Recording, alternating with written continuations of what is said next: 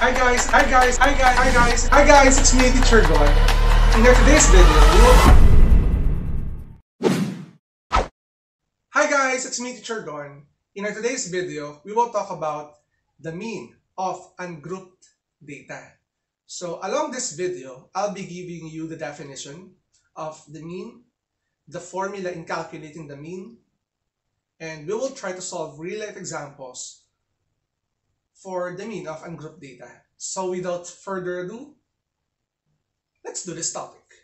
So basically guys, um, before I start defining the mean, I want you to remember that mean, median, and mode are under the measures of central tendency. Again, the measures of central tendency. And this time, ang target natin is to calculate for the mean of ungrouped data.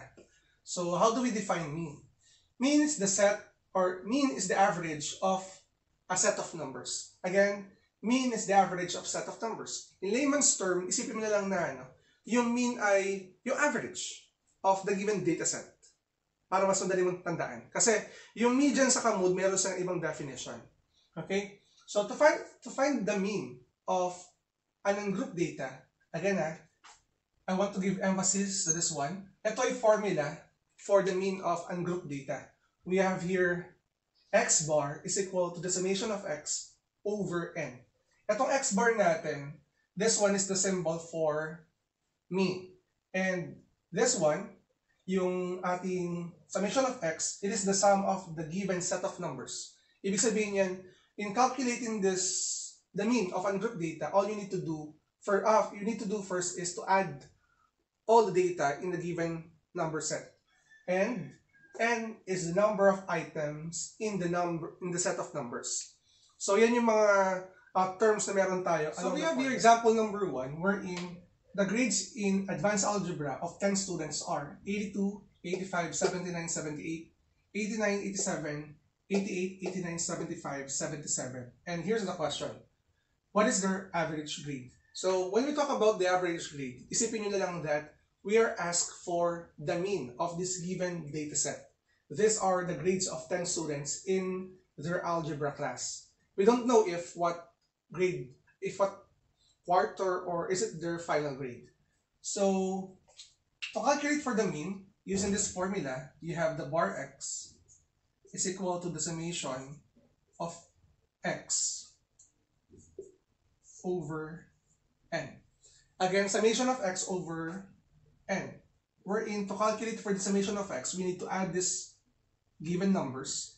You have 82 plus 85 plus 79 plus 78 plus 89 plus 87 plus 88 plus 89 plus 75 plus 77 over for the value of n, alam naman natin that these are the grades of 10 students, meaning the value of n is equal to 10.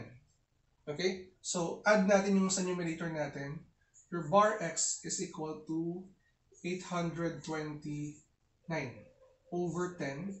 And simplifying this, this will give you the quotient of 829 divided by 10 is simply 82.9.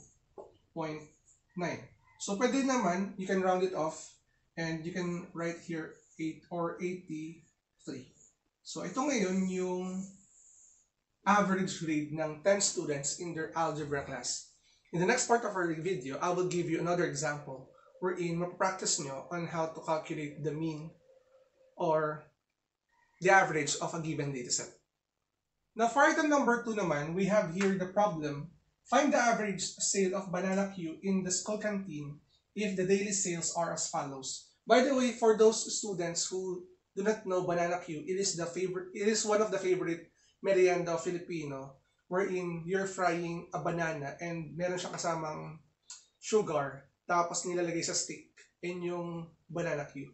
So, ito yung mga ano, ito yung mga sales bawat araw you have here Monday, nakapagbenta sila ng 352.6 pesos and 60 centavos. We have here sa Tuesday naman 220 pesos and 75 centavos. So Wednesday, nakapagbenta sila ng 347 pesos. Thursday, 210 pesos and 50 centavos.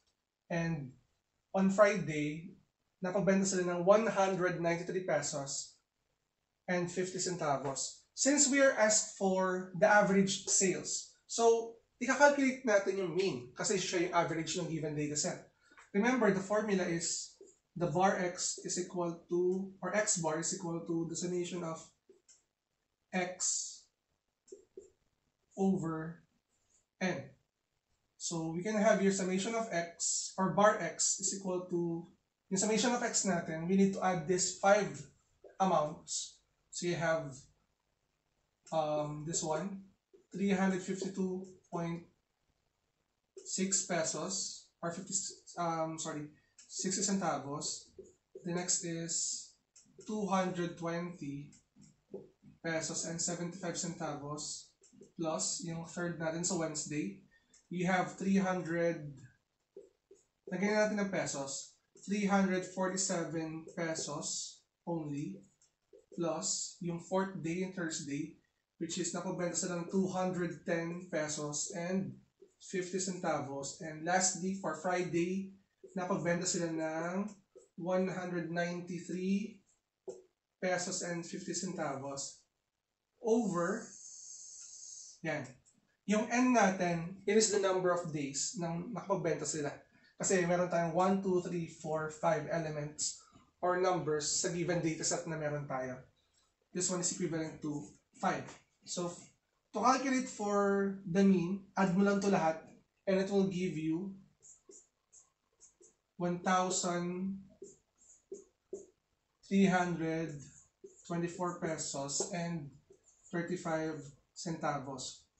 And then divided by 5, your mean here or the average sales is equal to 264.87 pesos. Or, kung gusto nyo i-gawin yung whole number, pwede namang ilagay nyo dito ay 285 pesos. Ito yung kanilang daily average sales ng banana Q sa isang school canteen.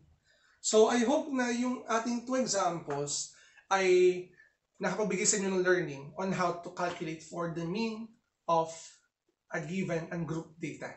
So, if you have any question about our discussion or kung meron kang requested topic that you want me to discuss, feel free to put it here in our comment section. And by the way, meron na rin tayong video about the mean, median, and mode of ungrouped data na pinagsama-sama ko at ilalagay ko siya sa ating description box. So if you're new to my channel, don't forget to like, syempre, and subscribe ka na rin for more videos. And I hope na patuloy niyo supportahan yung aking channel and God bless you. Again, it's me, Teacher Gon. Maraming maraming salamat. Bye-bye!